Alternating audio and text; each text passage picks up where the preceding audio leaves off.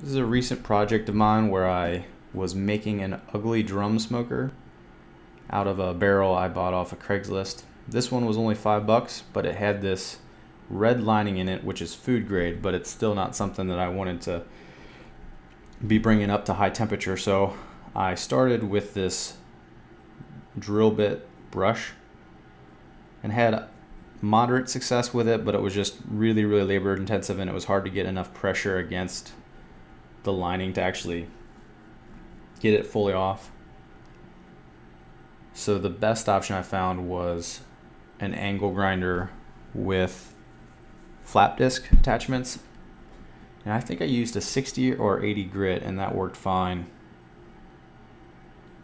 And I actually didn't have one before this project and I went out and got one for really cheap from Harbor Freight and it worked fine even though I had it running for a long time with a lot of pressure against it. So it held up quite well. Here you see me use it. And when you're dealing with like literally putting your body inside the barrel, it gets really loud and that dust gets everywhere. So you you basically wouldn't be able to do it without eye and respiratory protection. I would come out of that thing with red dust all over my face and you'd periodically, as you'll see, have to vacuum it out or else it just gets way too dusty to deal with it in there. So in retrospect, I would have bought a unlined barrel or I would have just paid somebody to sandblast it out. Here I'm giving it a really heavy burnout to try to get rid of any metal or lining fragments that still may be in there. So I just got a bunch of scrap wood from the yard and got it really hot. And then I did one final grind to get all that um, soot off to make sure that I got all the lining out. Here I'm measuring down to insert these U-bolts. And I'm just marking the outside for the drill right now. But those U-bolts go on the inside to hold up the grill grate. And I just wanted to make sure that my grill grate was below that that first kind of bevel in the barrel.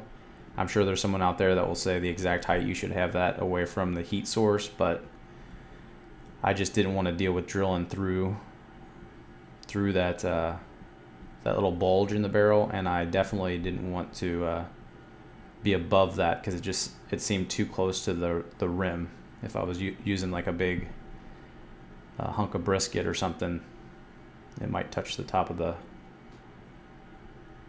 um, lid. So I just punched little pre dents into the into the barrel so that the drill bit wouldn't hop around as much and that helped somewhat but it definitely did skip around a little bit and that's why you see it kind of took a little time and that drill bit is just a tiny bit smaller than the diameter of the U-bolt. But after I punched a hole in it, I just reamed it out by rotating my wrist with the drill bit, and then it was plenty large enough to fit the U-bolt in without it being too wiggly.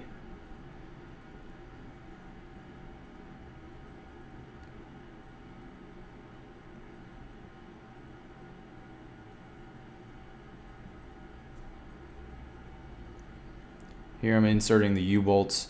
This was a, a multi-step pro process actually. So to keep the U-bolt in place, all these U-bolts came with two nuts and a little metal washer basically that connected the two prongs. And with the, the setup the way it was, it would basically push all the way through and lay flush with the barrel so it wouldn't stick out into the barrel enough to hold a grill grate.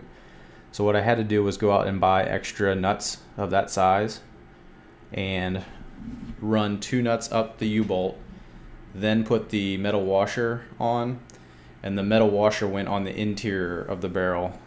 So that, that right there was just a temporary positioning to get the uh, grill grate in there. That metal washer between the two prongs went on the inside on the final final version and then on the outside of the barrel I put two more bolts to hold it in place. Now, for mine, I know most ugly drum smokers don't have a door in the bottom, but I just didn't see myself um, going in and out of the barrel and taking the food out all the time, so I wanted to create a door. So I used that grinder with a cutoff disc to create a door. And this, as you'll see, is definitely my first time ever using this tool because uh, neither of these or none of these lines are even remotely straight, but it still did the job.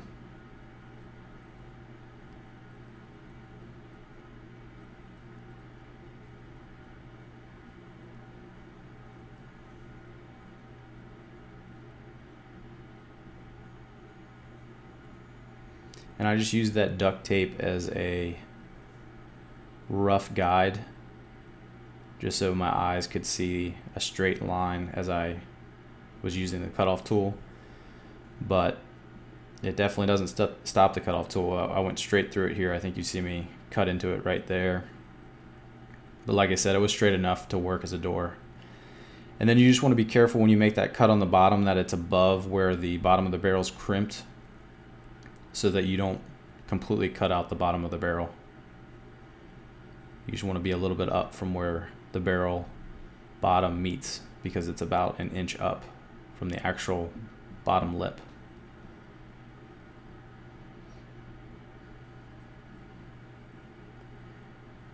And when I cut through, it was actually pretty lucky. Um, the one side had a little bit of metal still connected, so it didn't fully open. And that actually helped a lot so I could apply pressure here where I'm pre-drilling holes for the hinges so um, I didn't have like just a free floating piece of metal to drill into. It was still stuck to the barrel. And then once I got the hinges on there, I just kept bending it back and forth until it snapped completely.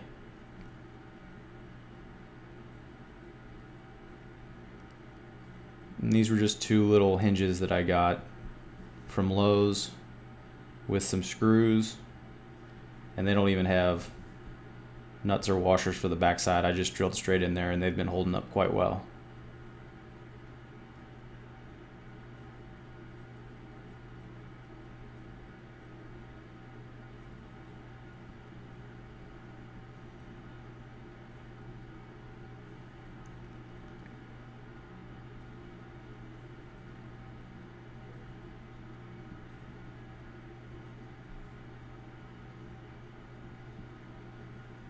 So here I start to bend it back and forth to pop that metal off, but I don't think I show the whole process.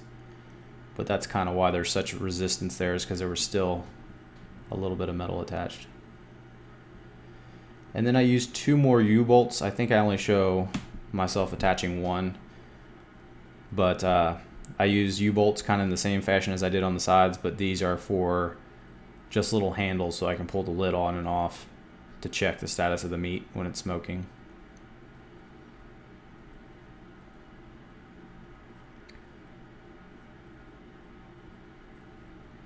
And this like the U-bolts on the side required an additional two nuts to be purchased to make it actually work. And this is actually my second attempt at smoking. I bought uh, a bunch of manager special meat from uh, Kroger's with the exception of that that rib that was full price. Um, and I got uh, wet, I think those are hickory chips I, I don't even know what type of tree that is. Um, but I got a heating plate with a cast iron skillet to get the coals ignited. And then I put the wet chips over. And then this is where I like having a door. I can just slide open the door on the side. And have access. And then if it, too much air gets in there, I bought some foil tape that you use on ducts, ducts uh, just to seal it up. But I've had pretty good success without having to seal that. And this for being my second one, um, I definitely have some work to go on uh, the ribs. And from going on online forums, it looks like there's a bunch of different methods that you can use to make them make them uh, more tender than I had them. Mine uh, tasted really smoky and really good, but the meat was just kind of chewy. So I have to work on that. But the salmon turned out really well. Um, I just wish I would have seasoned it. And then the uh, the sausages turned out really well too, but they just weren't that great of sausages. But they had a good smoky taste to them. But they just had a really high fat content. So. But thanks a lot for watching. I hope this helps. Hope you get a chance to make one yourself. Please subscribe and visit basementyard.com.